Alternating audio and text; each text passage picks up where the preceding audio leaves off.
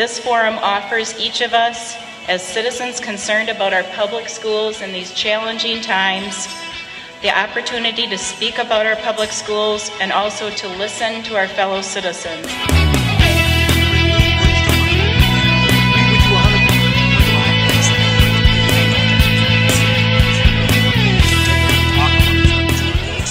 We are committed to improving school accountability, and we are committed because that's what our students and our communities deserve. I think one of the, the principal hallmarks of public schools in Wisconsin historically has been local decision making. I think it's coming way too much from people that are funding the campaigns. They want to push private schools and get rid of public schools. And how? Why do they want to do that? Because they want to make money at it. We're preparing kids for jobs that aren't even created yet. Maybe we need to give kids opportunities to challenge themselves, to walk the tightrope, so to speak, to go out on thin ice and, and learn from experience. This was very strongly felt here that most people in our community don't have a real idea of the jeopardy and crisis the educational system is in. Take your parent to school day that would really be required that, that one day a year or one day a semester the parents had to come to school. We're finding a lot of people would very much support lengthening the academic school year. Change the way education is funded because it pits folks against each other.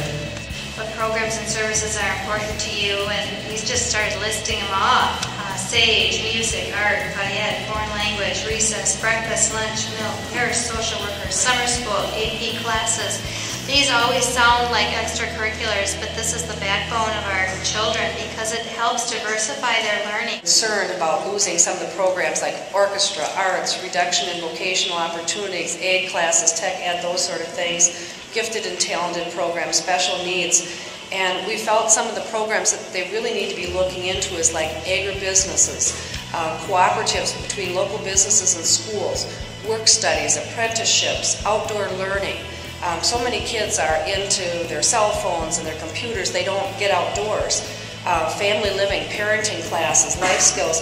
And the reason we need those is that we feel that we want to prepare our children for the real world, broaden their opportunities for employment. One thing we talked about is there might be less young people wanting to go into the education field now that uh, situation is kind of changing in Wisconsin. I heard some things that I wasn't surprised about. Frankly, the fact that people value support service, they value music, art, phy ed, they value guidance counselors, they value nurses, and you know all those things are kind of outside the realm of what we usually view as accountability. So it's it's important that not only students read well and compute well, but they also need to uh, uh, have a comprehensive education. Thank you.